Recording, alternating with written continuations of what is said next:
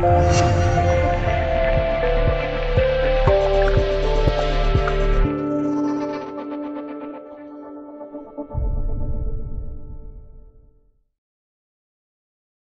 日，周老板手底下的三六零又搞了个大新闻，声称捕获了利用 App 直接攻击我国核工业机构长达八年之久的间谍组织蓝宝菇。有人说这是三六零在压钩，事情原本它就没那么玄乎。呵呵，咱们不参与那些无聊人们的争吵，没意思。倒不妨从此次事件中一窥中国网络安全的现状。一、中国网络安全现状，咱们先来列举笔者精选的十二个网络领域的安全大事件。一点一九九一年第一次海湾战争，伊拉克空军的六台电脑莫名其妙的停止工作，后揭秘是当时刚成立不久的美军赛博战司令部捣的鬼。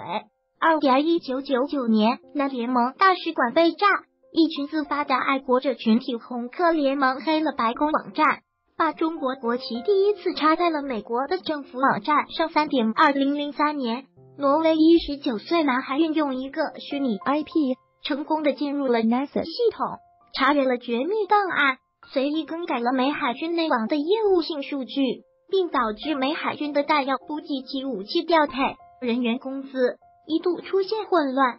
四点二零零五年，美商务部指责中国黑客潜入，致使美国商务部网站瘫痪长达三天。时任中国防长曹刚川断然否认。五点二零零六年，伊朗核电站持续遭到阵网攻击，不明蠕虫导致伊朗的离心机失去工作效能，形同虚设，长达三个月无法正常工作。六点二零零八年，俄格战争。格鲁吉亚军队的信息化指挥平台在战争初期就出现瘫痪，导致旅团级单位与俄军总部大部分失联。后来查明，原来是俄军网络战部队下属十二大队的小试牛刀。七点二零一零年，美军对外正式宣布组建网络战司令部，并招募对网络方面有经验和兴趣的年轻人。八点二零一二年和二零一四年，我国的门户网站。如新华网、腾讯网、搜狐网都遭受到了大面积瘫痪。非常令人耐人寻味的是，美国国务院亲自致信中央网信办，询问损失大不大。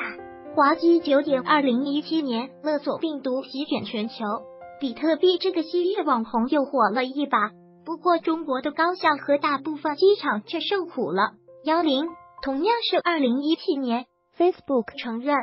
中毒好莱坞明星及五千多万民众遭窃。幺幺，今年三月份，危机解密与美国政府官司在先。幺二，英特尔公司被曝芯片有重大问题。又一个冷静门，明眼人应该看得出来，这悲剧的这些例子，都是网络安全对军事的影响。我国的国家网络安全现状不容乐观。中科院易理性博士笔记本被安装后门软件达三年之久，却毫不察觉。郑州的国安人员竟然不能监控 iPad。武汉市政府的 Win 七被国外 NGO 组织安插暗门。台湾间谍通过笔记本电脑遥控指挥，让学生去拍停靠在湛江的军舰。这些案例无一不告诉我们，网络安全是当今时代一个新兴大国的命门，是军事发展的前提。二、中国网络安全的缺陷及不足，笔者还清晰的记得，Win 八系统刚出来的时候，美国的一家私人防务安全公司用 XP 来对比。极具讽刺的是，一百四十七次攻防实验中，XP 抗住了八十九次，而被国人推崇的 Win 八只抗住了三十九次。这个结果令人唏嘘不已。可见，信息化战场上的标准也只有一个赢。装备本身的先进性加人员管理，管理信息化平台的人员本身也很重要。我国长期以来对网络安全的宣传过于拘泥，形式主义荼毒过深，对网络安全的宣传长期只停留于课本上。正确的网络攻防战流程因为防御、入侵、检测、打击、应急响应、人员管理、网络立靶。众所周知。十二个根服务器都在美国，我军只有根据 Windows 改良群网内容的麒麟系统，而国产民用系统却仍然遥遥无期。大家还记得前段时间津津乐道的说上海的商飞用外国飞控软件吗？这就很说明一个问题：我军乃至我国在网络软件领域方面还是捉襟见肘了点。笔者是搞工科的，可以说一句实话，一些好的 CAD 工程制图软件都要从国外全套购买。笔者认为，未来要想要突破这一块，未来还得依靠国防科大的超载。三。如何攻防？戴旭大校说过，在敌人不进攻的领域设防是愚蠢的行为，而在敌人不设防的地方主动攻击才是最高明的进攻。网络战中的攻和防考量的是大国领袖间的智力对抗。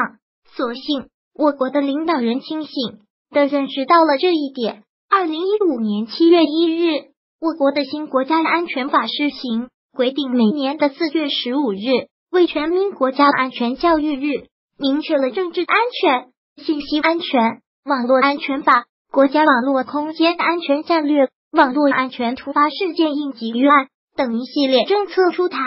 没有网络安全，就没有国家安全。笔者认为，要保证以下三点，方能做到网络上的国家安全：一、党政军机构的电脑定期检查有无监听暗门；二、网络舆情造谣的帖子立即删除，并记录发帖子，将谣言传播者得到实质性惩罚。三、网络安全突发事件应切断爆恐血腥场面的直播，例如七十五后的断网。四、外军网络战能力，互联网自诞生伊始就是与军事密不可分的。美军内部在一九九五年的时候就搞了无数次赛博攻防战，因此。美军在组织安全、人事安全、软件系统开发和运营安全上，要远远强于我军。信息化离不开网络安全。美国空军一直埋头在搞 AFILRDHA 及高功率电磁 HPM 技术，这说明美帝军用芯片的自我处理及敌我识别能力达到了极致。美军自二零一零年正式宣称建立网络战司令部后。向社会公开招募黑客人才。据俄罗斯导弹基地的技术人员分析，美帝实现物理隔绝情况下渗透到敌方指挥中心的能力，相比之下，曾经被网络段子吹得天花乱坠的红客联盟则显得力不从心。一些专家分析，外军在网络对中国的侦查行为日益猖獗，很多国内网民在上那种羞羞的网站的时候。你的 set 和 SSL 战帽就已经被敌方接获。四，未来的网络战，很多读者不明就里，盲目的极端夸赞或极端贬低。更有甚者，某南海大学本科生竟然叫嚣着掌握了百度的所有机密。笔者评：这个人够狂妄，笑，这都是近乎可笑且不理智的行为。或者说，这部分人就是那些何不食肉糜的人。我军的发展。不会因境外敌对势力的阻拦而倒退，更不会被一些失了智的智障网友所左右。客观的对待我国的网络安全实力是进步和发展的前提。不骄不躁，认清自己才是王道。既不要妄自尊大，更无需妄自菲薄。要时刻清楚，现在进入工业快车道的中国，到底需要什么样的技术，才能在工业四点零的浪潮里占据一席之地？未来的中国是信息化中国，信息化又离不开网络安全。由衷的希望未来的信息化中国是己不足，再接再厉，迎头赶上。